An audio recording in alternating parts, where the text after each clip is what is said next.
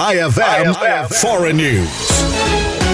Inaresto ang bagong kasal na sina James Shira, 22 anyos at Savannah Collier, 21 anyos matapos ang pagkakasangkot umano ng mga ito sa pagkamatay ng isa sa kanilang groomsmen sa araw mismo ng kanilang kasal sa Flint, Michigan. Pagkatapos ng kasal ay nagkaroon umano ng hindi pagkakaintindihan na nauwi sa pagtatalo ang groom at isa sa kanilang groomsmen na si Terry Lewis Taylor Jr., 29 anyos dahilan upang sagasaan ni Shira ng SUV. Matapos ang pangyayari ay tumakas sa pinangyarihan ng insidente ang mag-asawang Shira at Collier. Samantala, hindi na nagbigay ng kahit ano pang detalye ang Flint Police Department sa kung ano ang pinagtalunan ng dalawa. Ayon sa ulat ng FPD, nakatanggap umuno sila ng tawag tungkol sa nangyaring pedestrian injury crash. Nang mapuntahan ng mga pulis ang pinangyarihan ng insidente ay nakita nila si Taylor na nagtamo ng matinding injury kung kaya't dinala nila agad ito sa pagamutan subalit binawian din ito ng buhay habang sumasa ilalim sa treatment. Mahaharap sa kasong second degree murder si Shira at walang inirekomend ng piyansa para sa kanyang pansamantalang kalayaan habang ang partner nitong si Collier ay inaresto rin bilang kasabwat sa nasabing krimen. Para sa IFM Foreign News, ako sa Idol Andy Lee.